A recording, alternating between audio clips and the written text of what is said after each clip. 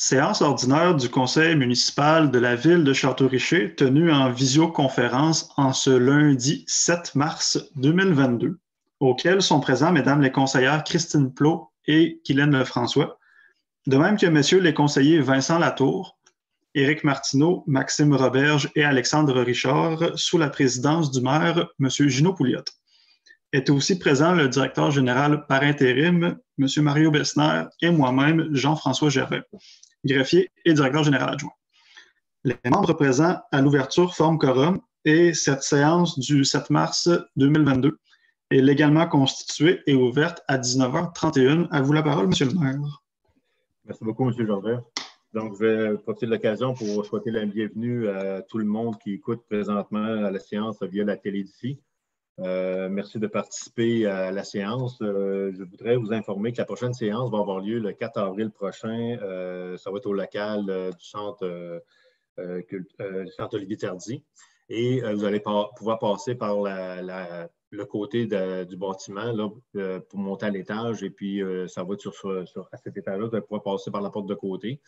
Et euh, nous sommes en train de préparer euh, les lieux en ce moment. La peinture est faite. Demain, on commence à, transporter les meubles. Donc, nous sommes contents de pouvoir euh, enfin pouvoir faire nos séances au centre Olivier Tardy. durant la présente séance, il est possible qu'il y ait des interruptions là, momentanées là, suite à un problème de connexion Internet. On l'a vécu tout à l'heure durant la petite préparation. Donc, euh, nous allons euh, prendre en note le moment où ça va interrompre et quand ça va reprendre. Donc, on invite aux gens euh, d'être compréhensifs par rapport à la situation et de se reconnecter s'il y a lieu, si on perd la connexion. Donc, je vais immédiatement passer au point 3.1, qui est l'adoption de, l'ordre du jour de cette journée, de cette rencontre du 7 mars 2022. Donc, euh, considérant euh, que l'ordre du jour euh, respecte les règles, le règlement 538-18 relatif à la régie interne des séances du conseil municipal de la ville de Château-Richer, abrogeant le règlement 499-16, considérant que tous les membres du conseil municipal ont pris connaissance de l'ordre du jour préalablement à la séance et qu'ils renoncent à sa lecture. Donc, euh, j'aimerais savoir, euh, euh, j'aimerais avoir un proposeur pour l'adoption de l'ordre du jour. Je vais le proposer. Bon, Madame, merci beaucoup. Madame Christine Plot propose l'adoption d'adopter l'ordre du jour de la séance ordinaire du 7 mars 2022 tel que déposé. Est-ce que vous êtes d'accord avec la proposition? Oui. Oui. Oui. oui. Merci beaucoup. Parfait, c'est adopté à l'unanimité. Maintenant, euh, nous allons adopter euh, le procès verbal de la séance ordinaire du 7 février dernier. Donc, euh, considérant que les membres du conseil municipal ont individuellement pris connaissance du procès verbal de la séance ordinaire du 7 février 2022, et ce, préalablement à la séance, et que tous les membres du conseil municipal renoncent à la lecture du dit procès verbal. J'aurais besoin d'un proposeur ou proposeuse pour l'adoption du procès verbal. Je propose Maxime Auberge. Merci beaucoup. Donc, euh, M. Maxime Robert, je propose euh, d'adopter le procès-verbal de la séance du 7 février 2022 euh, et qu'il soit adopté tel que présenté. Ceux et celles qui sont d'accord? D'accord. D'accord. C'est adopté à l'unanimité. Maintenant, nous allons passer au point 5.1, donc le compte généraux des dépenses pour le mois. Donc, l'autorisation des dépenses pour la période du 1er février au 28 février 2022. Donc, euh, je vais vous présenter les dépenses les plus importantes.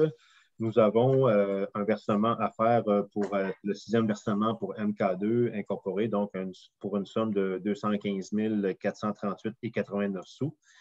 Il y a aussi une somme, on, recommence l'année, donc on recommence à payer le per capita, notre part pour la régie interne de l'Arena de la Côte de Beaupré.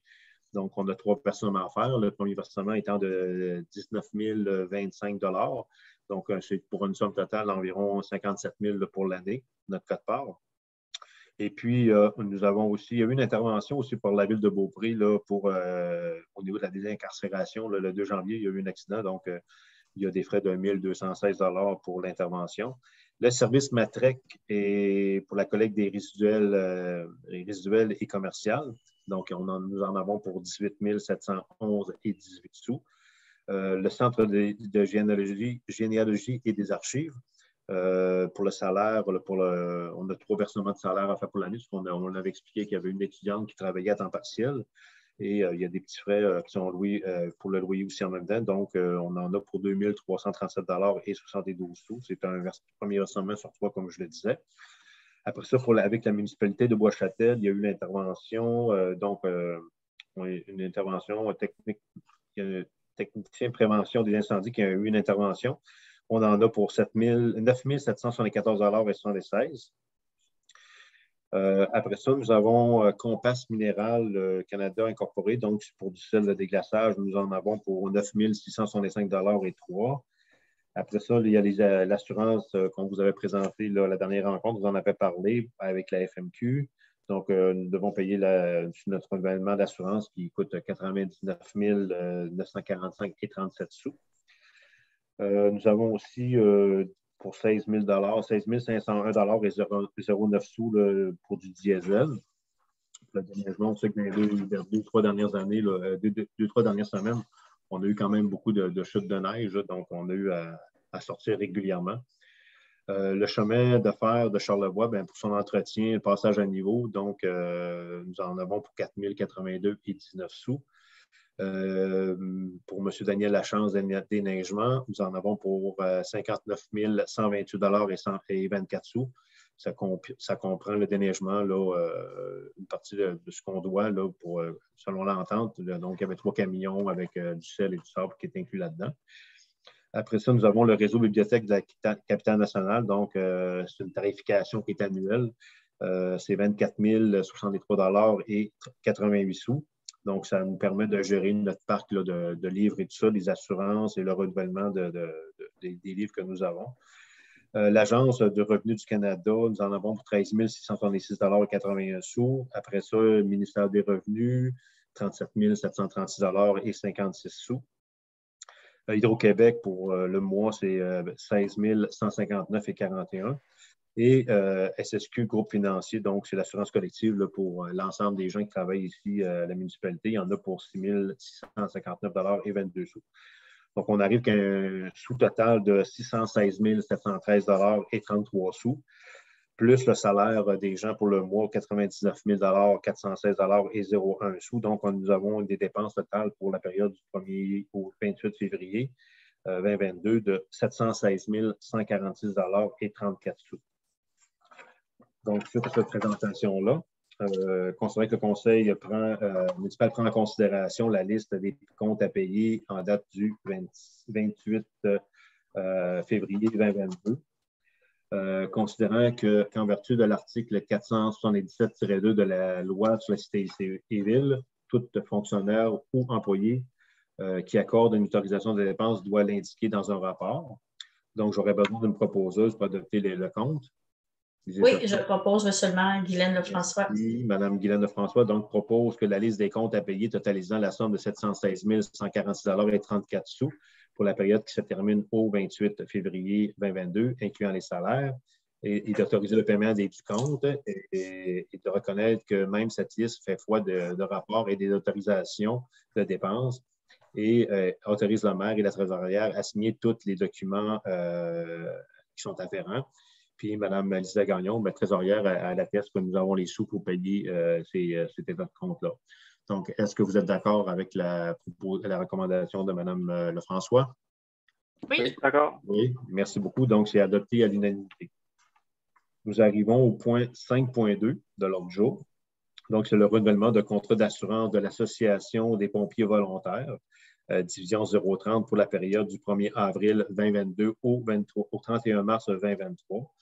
Donc, euh, considérant que le contrat d'assurance de l'Association des pompiers volontaires d'Adijan était à échéance au 31 mars, euh, considérant que la proposition de renouvellement euh, soumise par Canada Vie AGA Assurance collective qui représente l'Association des pompiers volontaires, considérant la recommandation favorable de la conseillère au régime d'assurance collective, Mme Stéphanie Bellil, pour aller vers AGA Assurance collective, puis je voudrais dire en passant aussi que la somme du renouvellement de cette année, c'est la même somme que l'an passé aussi. Il n'y a pas eu d'augmentation.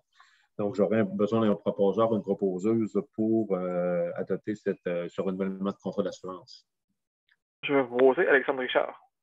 Donc, euh, merci. M. Alexandre Richard propose que le contrat d'assurance collective de l'Association des pompiers volontaires, division 030, pour la période euh, débutant du 1er avril euh, jusqu'au 31 mars 2023, et d'autoriser le directeur général par intérim, M. Mario Bessner, à signer pour et au nom de la Ville de Châteaurougé les documents afférents.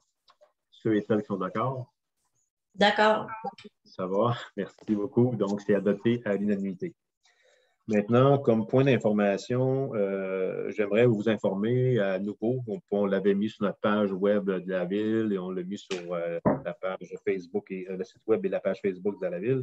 Pour le hockey, on avait informé les gens que nous avions, il n'y avait pas eu d'entente avec le promoteur qui voulait faire des équipes de, de. Puis, euh, on a eu des petits problèmes techniques, donc on a dû euh, annuler les échanges que nous avions avec, la personne en question.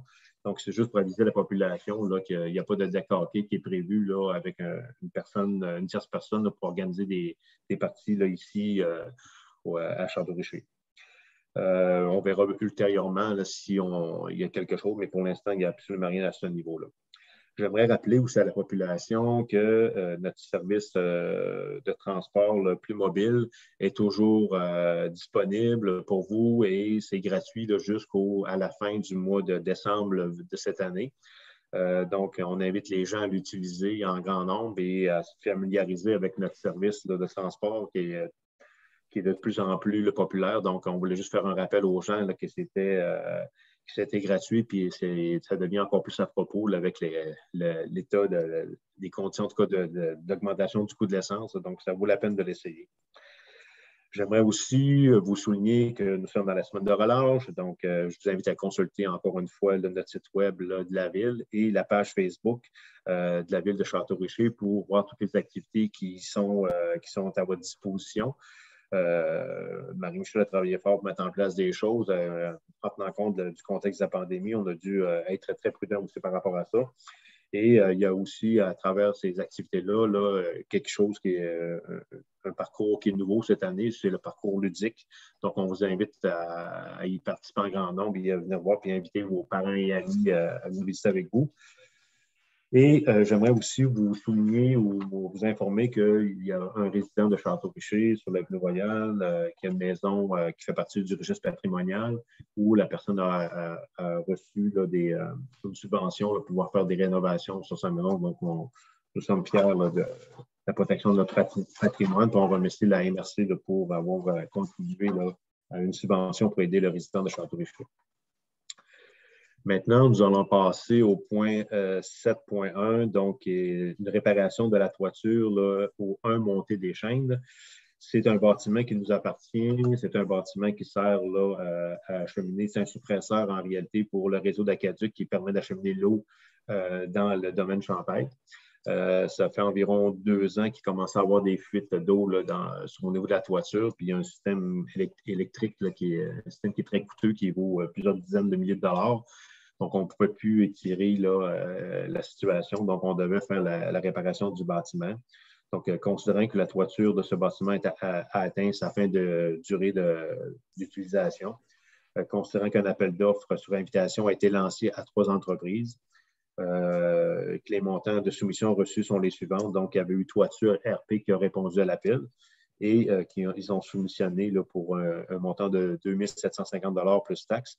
Il y a aussi la toiture euh, Benoît euh, Tremblay qui a également soumissionné pour un montant de 2 800 plus taxes et Toiture Québec pour 2 907 et 0,2 plus taxes. Donc, nous, on, on, propose que l'entreprise de toiture RP est la plus avantageuse. Donc, j'aurais besoin d'un proposeur pour accepter la, soumission de toiture RP. Je propose, M. le maire. Merci beaucoup, Mme Lefrançois. Donc, Mme François propose que le contrat pour la réparation de la toiture du bâtiment situé au 1 Montée des Chaînes de, euh, à l'entreprise, donner le contrat à l'entreprise de toiture RP au montant de 2 750 plus taxes. Est-ce que vous êtes d'accord avec la proposition? Oui. Oui, d'accord. Merci beaucoup. C'est adopté à l'unanimité. Euh, nous sommes maintenant rendus au service de l'urbanisme. Donc, un dépôt, euh, on fait un dépôt du compte rendu de la réunion du CCU. Donc, je vais laisser la parole à M. Éric Martineau. Merci. Euh, point 8.1, dépôt du compte rendu de la réunion du CCU. Le service d'urbanisme a fait parvenir au conseil municipal et ce préalablement à la séance de compte rendu de la séance de la rencontre ordinaire tenue le 22 février 2022 par le comité consultatif d'urbanisme. Au point 8.2, rénovation multiple au 80-92 Avenue Royale.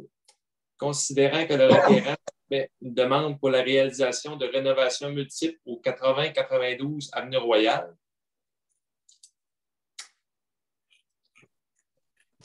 considérant que les marquises avant et arrière seraient démolies pour faire place à des balcons aux composantes en bois peinte blanche, considérant que les galeries au rez-de-chaussée à l'avant et à l'arrière seraient refaites pour emborer les mêmes composantes que les balcons à l'étage, considérant que le revêtement d'origine serait conservé et peint de couleur 61-98 serait 42, considérant que, les portes seraient que des portes seraient ajoutées au deuxième étage de la résidence, que les fenêtres existantes seraient remplacées et que des fenêtres seraient ajoutées. Considérant qu'une annexe avec revêtement d'aluminium identique à la résidence serait ajoutée au deuxième étage à l'arrière de la résidence. Considérant que le comité consultatif d'urbanisme a émis le 22 février 2022 un avis favorable quant aux rénovations multiples de la résidence, c'est au 80-92 à Royal, et a formulé les commentaires suivants. Il serait préférable de conserver les dimensions des fenêtres existantes sur la résidence dans le changement et l'ajout de nouvelles fenêtres. De plus, le projet de rénovation devrait prévoir, afin de dynamiser la façade du bâtiment, l'ajout d'ornementation à la fenestration en face avant par exemple, un cadre de bois coloré pourrait être ajouté autour des fenêtres. Ce cadre de couleur autre que le revêtement ou des composants de galerie pourrait ajouter une troisième couleur au bâtiment, qui est assez fréquent pour les résidences situées sur l'avenue Royale et qui contribue au dynamisme d'une construction. Aussi, un modèle de fenêtre au carrelage pourrait être retenu, tel qu'une fenêtre double à guillotine avec barotin. Les nouvelles portes de la résidence pourraient être colorées afin de contribuer au dynamisme de cette dernière. Enfin, le, plancher des galeries pourrait être laissé au bois naturel afin d'assurer un contraste entre les composantes de ces dernières. Euh, en conséquence, je propose, Éric Martineau, que le conseil municipal euh, n'accepte pas la, résolution étant donné qu'il euh, y a certains éléments là, qui sont manquants, qu'on juge qui sont manquants, pour nous permettre de, prendre une décision éclairée sur, le projet. Il y a certains détails qui, dont on a demandé des, éclaircissements, puis qu'on n'a pas eu de réponse à ce jour. Donc, je propose que, que voyons, qu'on n'autorise pas la délivrance de, ce permis-là. Merci, M. Martineau. Donc, euh, est-ce que vous êtes d'accord avec le rejet de cette demande euh, faite par un citoyen, puis on, va attendre d'avoir le retour des, que le dossier soit complété à la demande? Est-ce que vous êtes d'accord avec, le, rejet? Donc, c'est rejeté à l'unanimité. Merci. Le point 8.3 ajout d'une remise aux 64 montées du parc. Considérant que le requérant soumet une demande pour l'ajout d'une remise en cour arrière de la résidence 6 aux 64 montées du parc, considérant que la remise serait de 3,66 mètres de largeur, 2,44 mètres de profondeur et d'une hauteur de 3,05 mètres, considérant que le revêtement de la remise serait du fibrociment brun comme celui utilisé par la, de la résidence principale, considérant que la fenêtre, que la porte et les fenêtres de la remise seraient noires, considérant que la toiture serait en pente vers l'arrière et recouverte de bardeaux d'asphalte noir, considérant que le comité consultatif d'urbanisme a émis le 22 février 2022 un avis favorable quant à l'ajout d'une remise en cour arrière de la résidence, c'est aux 64 montées du parc, et a formulé les commentaires suivants. L'alignement du haut du cadre des fenêtres sur la façade de la remise devrait être revu afin de s'inscrire en continuité avec le haut de la porte ou, une imposte au-dessus de la porte. En conséquence, je propose, Éric Martineau, que le conseil municipal autorise l'ajout d'une remise en cours arrière de la résidence 6 au 64 montée du parc en invitant les requérants à prendre connaissance des commentaires formulés par le CCU. Donc, euh, est-ce que vous êtes d'accord avec la recommandation de M. Martineau? Oui. Oui. Merci.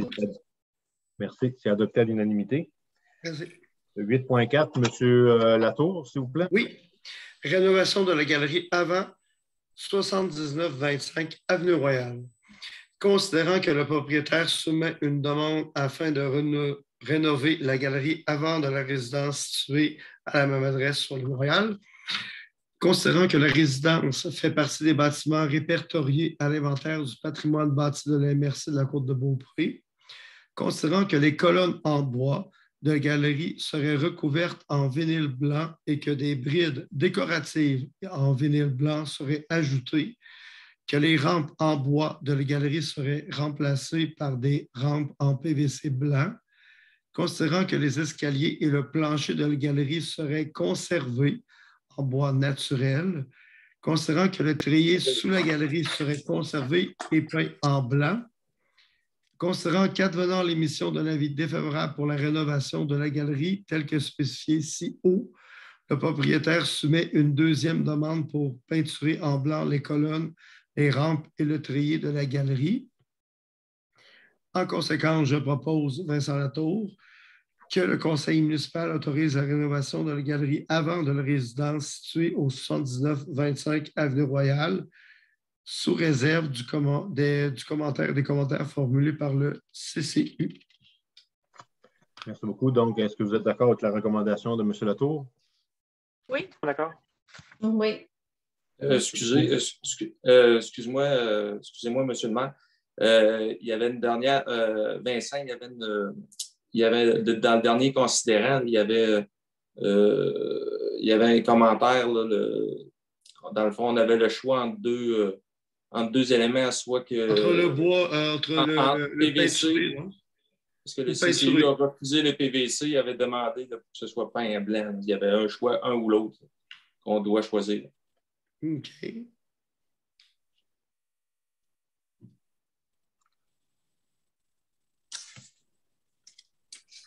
est-ce qu'on est d'accord avec la recommandation? En réalité, il faut, choisir soit la recommandation, soit le PVC ou le pain blanc? Pain en blanc. Oui, c'est ça. Le, CCU avait demandé que ce soit pain en blanc, plutôt. Donc, est-ce qu'on est d'accord avec euh, la recommandation du CCU de peindre en blanc? Oui, ça va pour moi. Oui, tout à fait d'accord. D'accord? Mhm. Merci beaucoup. 8.5, euh, M. Latour? Oui. Construction d'une résidence unifamiliale isolée avec garage attenant 1 rue de la Promenade. Considérant que le requérant soumet une demande pour la construction d'une résidence unifamiliale isolée d'un étage avec garage attenant au 1 rue de la Promenade, considérant que la superficie de la résidence serait de 105,27 mètres carrés et que le garage annexé serait de 27,49 mètres carrés, considérant que la hauteur de la résidence serait de 6,24 mètres, considérant que les revêtements seraient de la maçonnerie couleur charbord et du fibrociment horizontal couleur éteint vinyle vieilli, considérant que la toiture serait à quatre versants en bardeaux d'asphalte noir et que les portes et fenêtres seraient noires, considérant que, le comité consultatif d'urbanisme a émis le 22 février 2022 un avis favorable pour la construction d'une résidence unifamiliale isolée d'un étage avec garage attenant au 1 rue de la Promenade et, un, et a formulé les commentaires suivants. Quelques réserves demeurent quant à la disposition des deux fenêtres du côté gauche en façade de la résidence. La, disposition pourrait être revue de sorte que les deux fenêtres se retrouvent dans la même direction, soit l'horizontale ou la verticale. Conséquemment, à ce changement de disposition. L'agencement des matériaux de revêtement en façade pourra être revu également pour s'inscrire en lien avec les fenêtres. Autrement, un modèle de fenêtre carrée du genre de ceux se, se retrouvant sur la face arrière de la résidence pourrait être remplacé, pourrait remplacer les deux fenêtres. En conséquence, je propose que le conseil municipal autorise la construction d'une résidence unifamiliale isolée d'un étage avec garage attenant au 1 rue de la Promenade, Avenue Royale, en invitant les requérants à prendre connaissance des commentaires formulés par le CCI. Donc, euh, est-ce que vous êtes d'accord avec la recommandation? Oui, ça va pour moi. Ah, d'accord. Merci. Donc, c'est adopté à l'unanimité. Nous allons au point. Oui, c'est Donc, 8.6, M. Latour. Oui. Construction d'une résidence unifamiliale isolée, chemin du Boisé.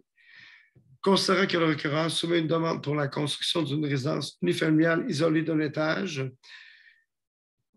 Considérant que la superficie de la résidence serait de 11,97 mètres carrés, considérant que la hauteur de la résidence serait de 7,13 mètres, considérant que le revêtement serait de la maçonnerie couleur euh, Midnight avec coulis foncé et du calexel couleur loup, gris ou granit, considérant que la toiture serait monopente en bardeau d'asphalte noir, que les portes et fenêtres seraient noires, Considérant que le, euh, CCU a émis le 22 février 2022 un avis favorable pour la construction d'une résidence unifamiliale isolée d'un étage sur le lot euh, 5 742 733 5 chemin du Boisé, que le revêtement de calaxel couleur loup-gris devrait être retenu afin d'assurer un meilleur contraste avec la maçonnerie.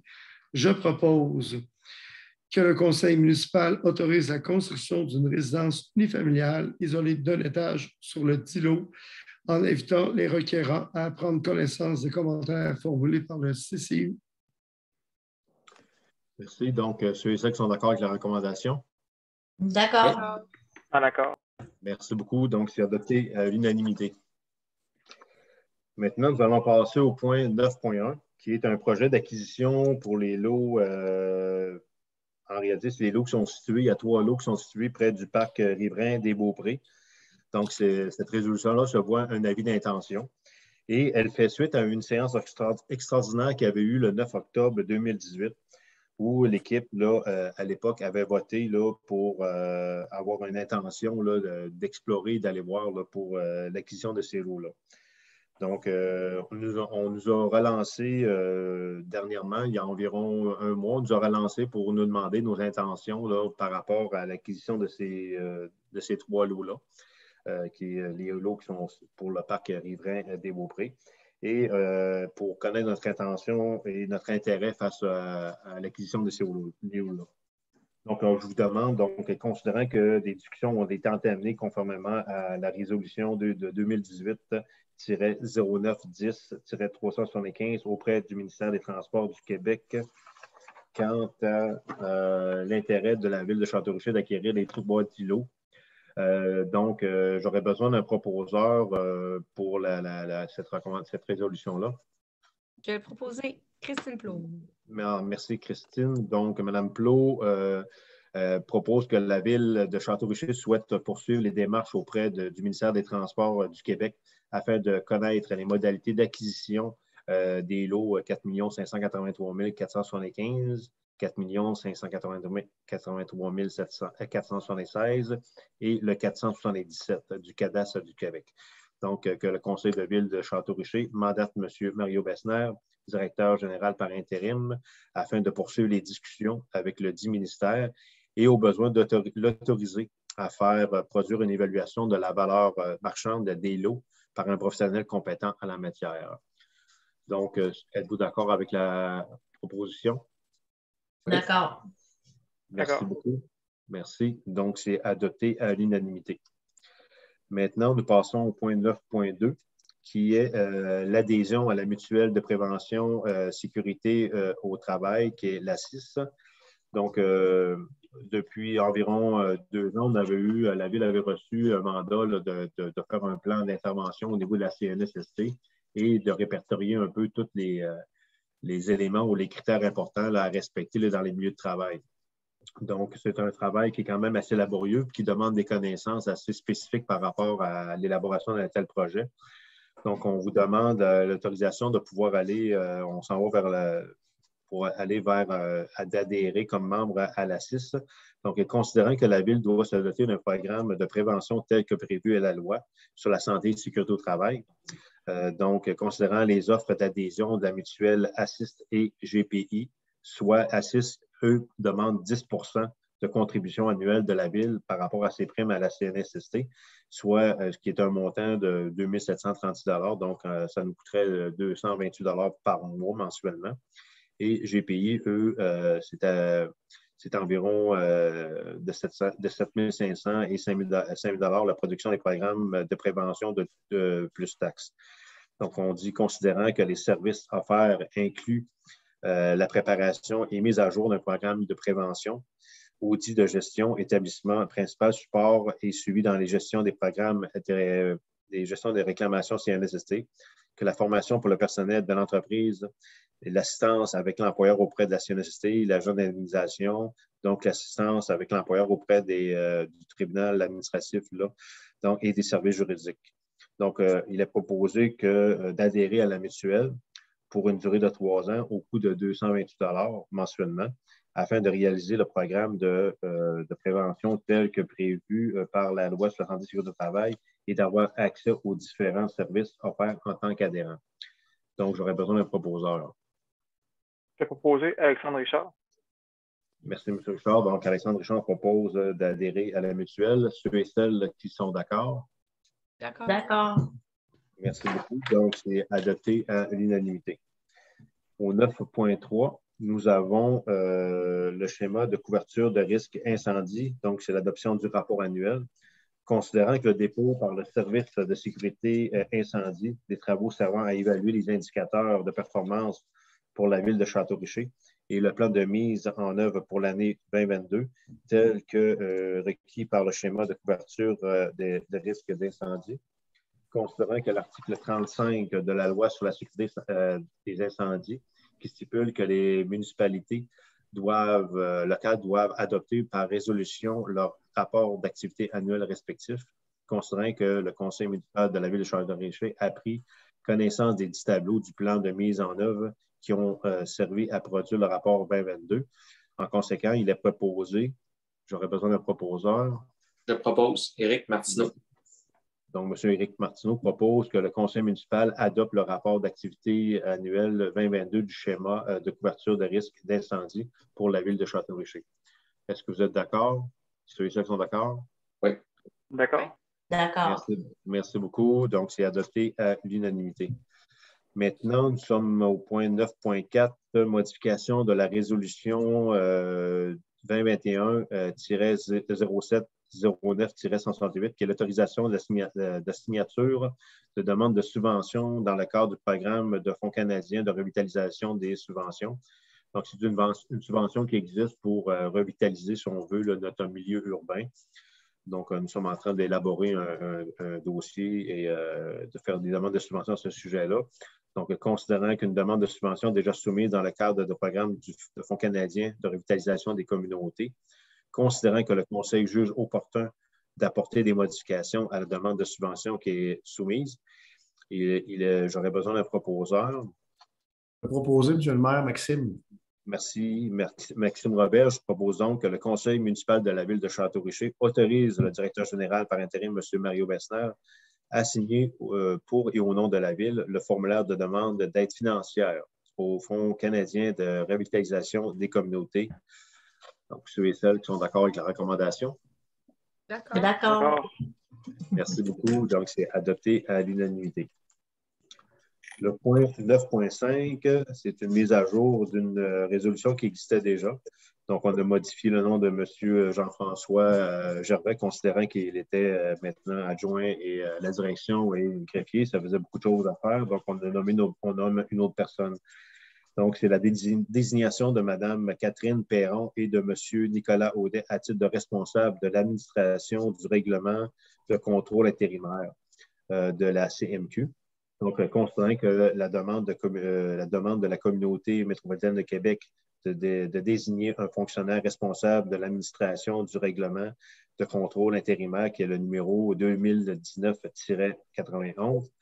Donc, euh, j'aurais besoin d'un proposeur pour nommer Mme euh, Perron et M. Euh, Audet à titre de responsable. Proposeur ou proposeuse? Proposé, Alexandre Richard? Merci. Donc, Alexandre Richard propose que de nommer Mme Catherine Perron et M. Nicolas Audet à titre de responsable de l'administration du règlement de contrôle intérimaire. Nous avons, nous avons nommé deux personnes, euh, considérant qu'il n'est pas impossible des fois qu'une personne puisse être absente pour toutes sortes de raisons. Donc, on voulait être sûr qu'il y ait un suivi dans les dossiers. Merci. Euh, J'ai demandé le vote. C'est beau, euh, oui, c'est correct. D'accord? D'accord. J'ai eu un petit, deux, je pense. Merci beaucoup. Donc, c'est adopté à l'unanimité. Euh, le point 9.6, donc, est infraction au règlement de zonage construction en zone inondable d'un grand courant là, euh, au 88-48 boulevard Sainte-Anne. Donc, euh, c'est un dépôt de procédure en cours supérieure qu'on va voter, euh, qui mandate la firme Morancy Société Avocat d'intervenir dans ce dossier-là et de nous représenter au niveau de la Cour supérieure. Donc, pour le, règlement de, zonage, nous avons, nous, pouvons, nous avons deux possibilités là-dedans. On peut aller soit en cour municipale, euh, qui va faire en sorte qu'une décision peut être rendue, la personne euh, peut être reconnue coupable ou non, et si elle est coupable, ben, il va y avoir une amende. La personne peut payer son amende, puis par la suite euh, continuer à faire ce qu'elle veut et ne pas faire de modification. Cependant, si nous passons par la Cour supérieure, ben, il peut y avoir une décision qui va être rendue, puis la personne, si elle ne se conforme pas à la demande de la Cour, là, à ce moment-là, la Ville peut intervenir, faire les travaux, pour la personne et euh, lui envoyer la facture par la suite et le faire payer pour respecter toutes les, normes et euh, règlements municipaux concernant la localisation de sa maison. Donc, ça, présente un peu le dossier. Est-ce que j'ai oublié quelque chose, M. Gervais? Vous êtes un peu plus au point. tout est beau. Euh, vous résumez bien la situation. Merci beaucoup. Donc, en réalité, considérant que euh, l'immeuble situé au 88-48 boulevard Saint-Anne se trouve en zone inondable de grand courant au sens du règlement du zonage numéro 492-16 de la Ville, considérant que la propriété de l'immeuble a obtenu un certificat d'autorisation afin de déplacer le bâtiment principal existant sur le même terrain et euh, a également obtenu un permis de rénovation pour construire un solage afin d'y déposer le bâtiment principal existant considérant que lors de l'inspection effectuée en l'été 2021 par des fonctionnaires du service de l'urbanisme de la ville, il a été constaté qu'un nouveau bâtiment était en construction sur le salage, contrairement à ce qui avait été permis par les autorisations émises.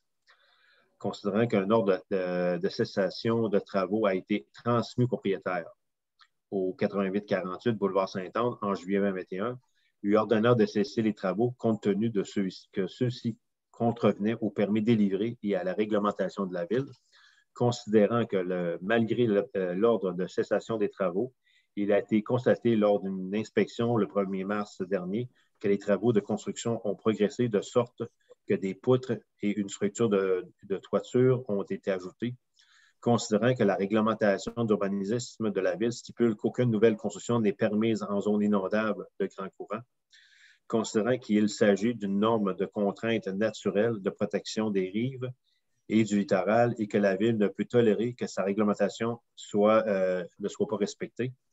Donc, euh, euh, il, est proposé, j'aurais besoin d'un proposeur. Je propose Éric Martineau. Donc, M. Martineau propose que le Conseil mandate la firme Montmorency Société Avocat afin d'envoyer une mise en demeure au propriétaire du 8848 boulevard Saint-Anne, le sommant de cesser euh, tous travaux de construction et de démolir la structure actuellement en construction sur le solage afin d'y placer conformément à ce qui a été prévu euh, par les autorisations euh, émises par la Ville et le bâtiment principal, sur le, le bâtiment principal existant et que le Conseil mandate la firme Morancy Société Avocat afin d'entreprendre dans les meilleurs délais toutes les procédures appropriées devant la Cour supérieure afin qu'il soit ordonné euh, aux propriétaires d'effectuer les travaux requis, incluant la démolition de la structure dérogatoire en construction sur le solage et le déplacement du bâtiment principal existant, incluant toute euh, demande en vertu de l'article 227 de, de, la loi sur l'aménagement et l'urbanisme. Est-ce que vous êtes d'accord avec cette euh, proposition? Oui. Oui. Donc, euh, merci beaucoup. C'est adopté à l'unanimité.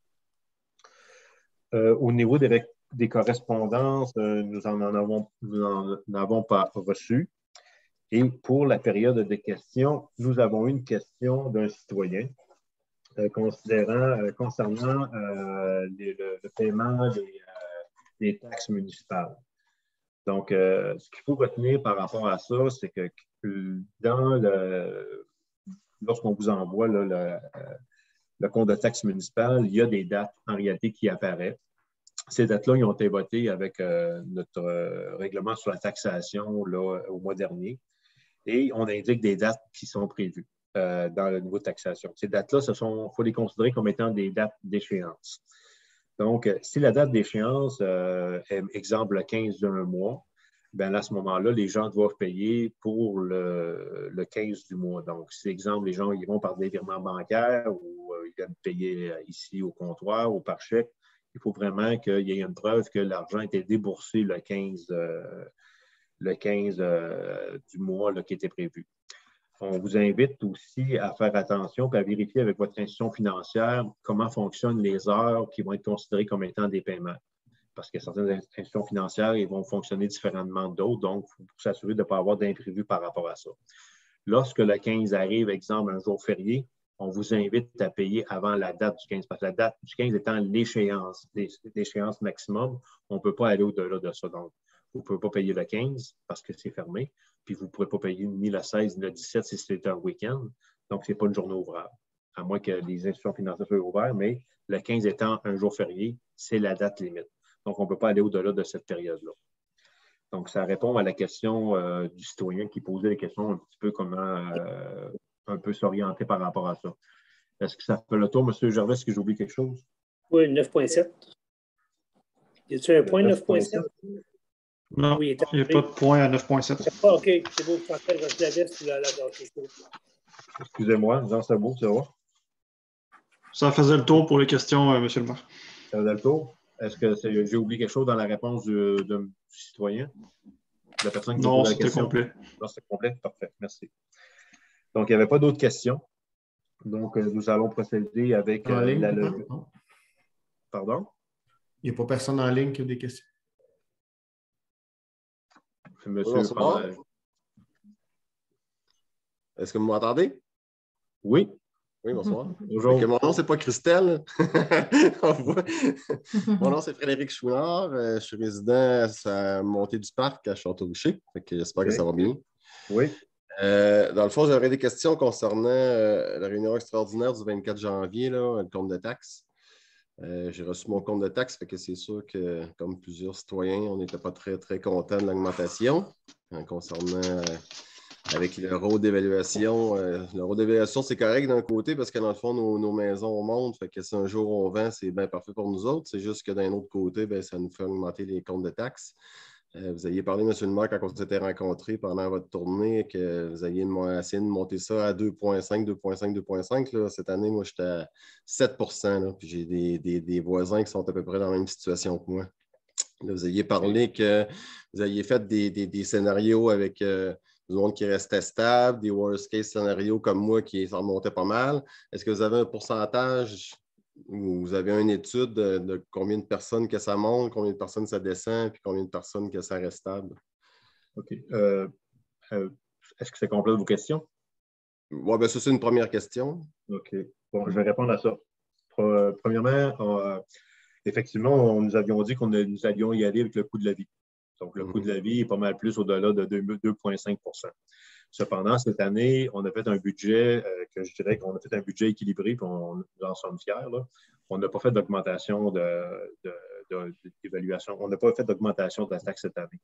On est allé avec le même niveau de taxation également. On n'a pas changé le niveau de taxation. Cependant, comme vous le dites, votre maison, votre maison a le prix de la valeur. Euh, l'évaluation euh, est triennale, donc à tous les trois ans, les valeurs des maisons reviennent.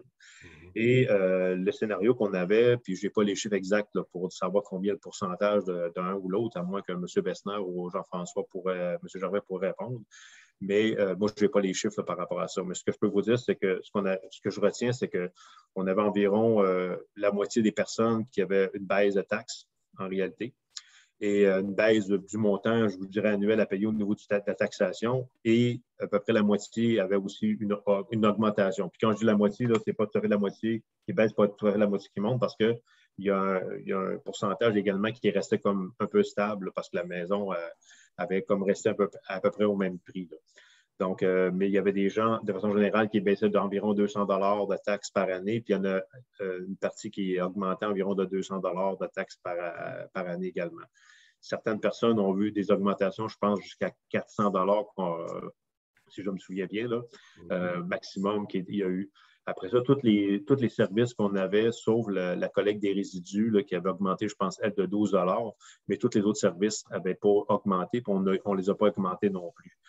Cependant, euh, dans l'année qui s'en vient, pour l'année 2023, c'est sûr que tout le niveau de taxation, on veut faire affaire avec un, une personne, un fiscaliste au niveau des taxes municipales pour revoir tout le niveau de taxation, comment, si c'est correct, si tout est bien ajusté euh, au niveau euh, des pourcentages par rapport aux services. Exemple, pour les services, ça ne doit pas coûter plus cher que ce que, on ne doit pas charger plus cher de ce que ça nous coûte.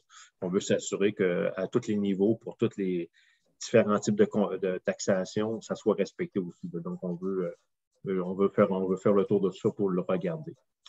Mais on n'a pas augmenté les taxes, mais c'est sûr que le rôle, considérant qu'il y avait un rôle d'évaluation qui avait été, euh, pour certains, bon, euh, il y a eu des augmentations, puis comme vous l'avez dit, c'était un plus, c'est une plus-value, mais en même temps, ça emmène le fait qu'il y, a un certain montant à, payer de plus, là, mais on n'a pas, pas donné de d'augmentation de taxes aux gens. Là. Il y a d'autres villes qui ont, tout le monde ont eu les, toutes les villes ont eu des, euh, un rôle d'évaluation qui a été fait. certaines villes ont fait des augmentations là, euh, de quelques pourcents. Nous, on ne l'a pas fait. Parce qu'on trouvait que c'était suffisant. Mais est-ce que vous aviez pensé, mon autre question dans le fond, c'est compte tenu que vous saviez que le, rôle d'évaluation arrivait puis que la plupart des maisons allaient monter, euh, je vais vous prendre mon exemple à moi. Dans le fond, j'ai un immeuble à Lévis. Mon immeuble a monté, mais ils ont joué sur le rôle de taxation. Peut-être que j'ai été chanceux de ce côté-là, mais mon rôle sur, sur un, rôle de taxation, dans le fond, ça allait descendu un petit pourcentage. Qu'est-ce que ça a fait? C'est que j'ai monté de 2,5. Est-ce que vous, compte tenu que vous saviez que le rôle d'évaluation allait monter, vous auriez pu jouer avec les rôles de taxation pour essayer d'équilibrer ça? Justement, peut-être tout le monde à 2,5 ou un petit peu moins ou un peu plus, mais là, comme moi, j'ai 400 pièces Mais on est dans un nouveau quartier, fait que c'est sûr que nos maisons vont monter plus qu'une maison qui est sur une autre rue. Mais est-ce que vous aviez pensé de faire ça, de jouer avec le rôle de, parce que vous les, vous les avez gelés, c'est parfait, mais est-ce que vous aviez pensé peut-être juste d'en descendre un pourcentage? On aurait, peut-être pu le faire, mais je pense qu'on n'aurait pas été en mesure de le faire dans les délais qui nous étaient impartis. Parce que là, la loi, euh, le ministère des Affaires municipales nous, demande de faire le, budget pour avant la fin d'année, c'est-à-dire en décembre. Sauf que quand il y a des élections, on a jusqu'au mois de, janvier pour le faire. Donc, revoir le, niveau de taxation ici à la ville, on n'a pas les ressources pour évaluer le niveau de taxation puis dire si on le baisse, est-ce que ça vaut la peine? Puis là, si on le baisse, on le baisse pour tout le monde. Parce qu'on ne peut pas le baisser juste pour les gens qui ont eu une plus-value dans leur maison. Il faut le baisser pour tout le monde. Hein. Donc là, déjà là, en partant, il euh, fallait regarder le budget, puis il fallait qu'on ait un budget où on allait arriver avec zéro dépense, puis il ne faut pas avoir non plus des surplus, mais il ne faut pas avoir non plus de déficit dans le budget. Puis il y, avait quand même des travaux à faire qui sont importants et euh, ça prend quand même des revenus. Puis en faisant ça comme ça, en n'augmentant pas les taxes, mais en y allant seulement avec le rôle d'évaluation, ça nous a permis quand même d'aller chercher 60 000 dans le budget pour l'année courante. Donc, ça nous permet de réaliser des choses, entre autres le système de filtration des eaux on voulait, euh, on veut le faire évaluer, puis ça nous permet d'aller faire faire l'estimation avec les ingénieurs. Le mandat déjà donné, puis c'est fait. fait ce petit surplus-là nous permet d'aller évaluer cette infrastructure-là, qui est une infrastructure qui est vitale. En réalité, c'est l'eau potable. Puis ça nous prenait quand même une certaine source de revenus. Euh, mais euh, comme je l'ai dit tout à l'heure, mais pour l'année qui s'en vient, en 23, c'est sûr que le niveau de taxation va être à revoir. on va travailler là-dessus durant l'année pour le mettre à jour pour euh, l'année prochaine, puis aller voir aussi toutes les nouvelles sources de revenus qu'on pourrait aller chercher aussi, pour pas, même si on avait dit qu'on n'irait pas au-delà du, coût de la vie, mais pour ne pas se rendre à 5 si on, si on est capable d'aller chercher l'année prochaine une augmentation qui est relativement correcte pour tout le monde, qui n'emmènera pas une grosse haute qui va être appliquée à tout le monde cette fois-ci, parce qu'il n'y aura pas d'augmentation des taxes de, de frontières. Mais euh, c'est ce qu'on va faire. Mais pour cette année, on ne pouvait pas aller jouer là-dedans. On n'avait pas le temps, on n'a pas les ressources pour le faire. On n'avait pas les ressources pour le faire non plus. Il fallait se virer de bord assez rapidement. Puis on a commencé euh, nos travaux, je dirais pratiquement un mois plus tard, parce qu'on a fait embaucher M. Bessner aussi comme DG, parce qu'on ne peut pas. Une ville sans, DG, on ne peut pas trop avancer. On avait nommé M. Gervais entre-temps comme adjoint. Et on voulait avoir aussi un DG, que M. Gervais, on voulait avoir un DG. Fait qu'on est allé chercher M. Vessner, puis après ça, les travaux ont commencé. Fait que, il y a eu des impondérables, mais ce n'est pas ça qui explique que le, taux de taxation n'a pas été revu. C'est juste qu'on n'a pas les ressources et on n'aurait pas eu le temps d'évaluer dans les cours d'année. OK. C'est bon. Puis ma dernière question, dans le fond, c'est concernant euh, les augmentations, exemple comme le prix de l'essence. Est-ce que vous aviez, c'est sûr que vous ne l'aviez sûrement pas budgété parce que personne ne savait que ça allait monter de même, mais est-ce qu'il y a comme un, pour pas que ça explose vos budgets, est-ce que vous avez, y a-t-il quelque chose que vous pouvez faire ou que vous avez mis de l'argent de côté pour ça? Euh? Bon, on n'a pas mis d'argent de côté pour ça parce que, comme vous l'avez dit, on ne peut pas prévoir cette hausse-là. Moi, je ne l'ai pas vu venir moi non plus. Là. Mais sauf que euh, dans le budget, c'est sûr qu'il va y avoir des rentrées de, certaines subventions il y a, qui, sont là, parce qu'on a des prêts. Mais il y a quand même des sous qui rentrent par rapport à ça. Puis il y a peut-être des, des, dépenses qui ne seront pas faites, là, qui, auraient été faites en temps normal. Puis que euh, des fois, on prévoit, mettons, 10 euh, 000 Mais exemple, le toit tout à l'heure qu'on a voté pour la maison, la, la montée du chêne, on avait prévu 5 000 dans le budget. Mm. Mais ça, ça va coûter après 3 500 les taxes. Donc, là, on vient de récupérer 1 500 Il y a des petites choses comme ça euh, dans le budget qui peut-être vont nous coûter plus cher ou moins cher, puis on va pouvoir récupérer et équilibrer. mais on souhaite que. On doit vivre avec les, comme tout le monde avec euh, ce qui se passe, puis faire attention, c'est sûr. On, va, composer avec ça. C'est bon. C'est tout. Merci beaucoup. Merci, euh, merci. Merci, Maxime, d'avoir fait penser pour les, appels. Est-ce que, M. Gervais, on a quelqu'un d'autre? Non, mis à part, c'est que monsieur, on a M. Gagnon qui vient de désactiver son micro. Je vous inviterai à prendre la parole si vous avez une question. Le micro vient de se refermer, donc je ne crois pas qu'on a de, questions euh, supplémentaires. J'attends un petit peu. Donc, euh, il n'y a pas d'autres questions? Merci. Donc, on va procéder à la levée de la, séance euh, de l'Assemblée. Donc, euh, considérant qu'on a tout épuisé les sujets de l'ordre du jour qui ont été discutés, j'aurais besoin d'un proposeur pour faire la levée de la séance.